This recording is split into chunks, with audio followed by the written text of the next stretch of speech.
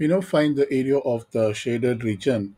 Uh, that is, uh, we have to find the area between the two curves. Uh, the first one is y equal to x, and the second one is y equals uh, x squared minus 3x plus 3.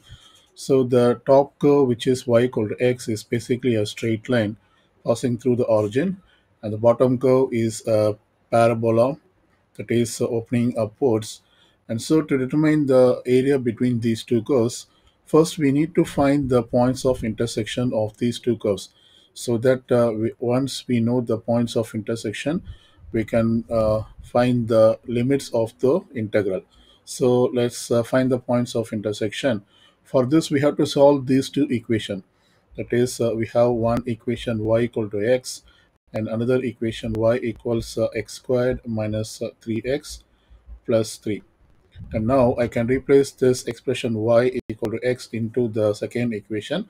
So therefore this becomes uh, x equals x squared minus uh, 3x plus 3 now let's subtract uh, x from both sides and then I rearranged as uh, x squared minus uh, 4x plus 3 and this equals uh, 0 this is basically a quadratic uh, uh, equation which we can factorize as a product of linear terms that is uh, x minus 3 times uh, x minus 1 and this equals uh, 0 because uh, when we multiply negative 3 with negative 1 we get positive 3 that is uh, this product term. And when we add negative 3 with uh, negative 1 we get negative 4 which is this term. So this is perfect. Now we can solve for x from this equation that is uh, x minus 3 equals uh, 0 or x minus 1 equals uh, 0 so here we get uh, x equal to 3 and uh, here we get uh, x equal to 1 so basically the two points of x are uh, 1 and 3 so therefore we can say that this point a this is uh, 1 comma 0 and then this point b is uh, 3 comma 0 so we know the limits of the integration now we can replace the formula to find the area between the two curves. So let's say suppose uh, we have uh, two curves as like this. Let's say this is the top curve f of x and uh, this is the bottom curve g of x. And these two intersect uh, at these points that is uh, from uh, a to b and uh, we want to find the area between these two curves. Uh, the the formula to find the area between these two curves is given by the integral. Area equals uh, integral of uh, a to b. These are the limits of x that is x equal to a to x equal to b. And then the top curve which is uh, f of x minus the bottom curve g of x. And we also take its uh, absolute value.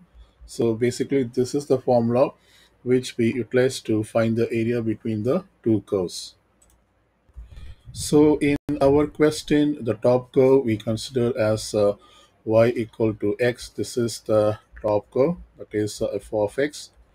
And the bottom curve is the parabolic uh, equation, that is, uh, this is considered as uh, g of x. Now let's uh, plug in this f of x and g of x into the formula. So therefore, we say that area of uh, shaded region.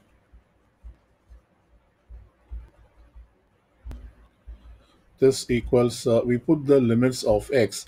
So for our problem the limits of x are from 1 to 3 so i put uh, x equal to 1 from uh, x equal to 3 and then we also put the absolute value of f of x is basically y equal to x. So i just uh, replace f of x as x minus uh, g of x equals uh, x squared minus 3x plus 3 so I put this g of x in brackets that is x squared minus 3x plus 3 and uh, this has to be uh, in absolute value.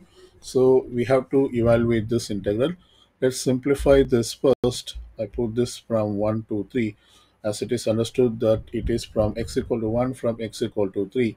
Now this is, uh, we have x here and uh, we have a negative of 3x but uh, since we have a negative this is basically positive 3x so x plus uh, positive 3x equals uh, 4x so and the other terms will become negative. This is uh, negative x squared and uh, plus 4x and this negative with positive 3 will become negative 3 so we take its absolute value and then we have to integrate it so we can now integrate this. So therefore this becomes uh, uh, integral from 1 to 3 we can consider this as separate integrals as like this plus uh, 4 times of integral from 1 to 3 x dx.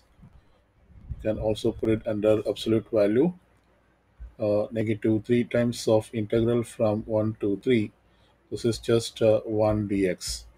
So this equals uh, when we apply the power rule of integral this will become negative of x cube divided by 3 because we have the power equals 1 so it is equal to negative of x uh, raised to the power of 2 plus 1 divided by 2 plus 1 which equals uh, negative x cube divided by 3 so i put uh, negative of x cube divided by 3 and this has to be evaluated from 1 to 3 plus uh, 4 times of uh, integral of uh, x is basically x squared divided by 2 and this has to be evaluated from 1 to 3 and then finally we have 3 times of integral of 1 dx is uh, x.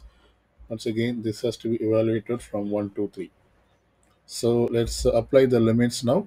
When we apply the upper limit this will become negative 3 cube divided by 3 minus uh, when we apply the lower limit this will become negative 1 cube divided by 3 plus uh, this is basically 2x squared. So 2 times of uh, apply the upper limit 3 squared minus lower limit which is 1 squared and uh, negative 3 times of apply the upper limit which is 3 and the minus of the lower limit 3 minus 1 so let's evaluate this so this equals uh, negative 27 divided by 3 and uh, we have this is uh, negative of 1 cube is negative 1 by 3 but uh, since we have a negative this will become positive 1 by 3 so i put uh, positive 1 by 3 plus uh, 2 times of this is 3 squared is 9 9 minus 1 is 8 so it is 2 times of 8 minus 3 times of 3 minus 1 equals uh, 2 so let's simplify this. This equals uh, negative. We have the common denominator 3 so i can write this as negative 27 plus 1 over 3 plus 2 times 8 is uh, 16 sorry. This is 16 minus 3 times 2 is uh, 6 so this implies negative 27 plus 1 is uh, negative 26 by 3 plus uh, 16 minus 6 is 10 and so we can uh, simplify this. We multiply the second term 10 by 3 and also divide by 3 so that we ma- we make a common denominator.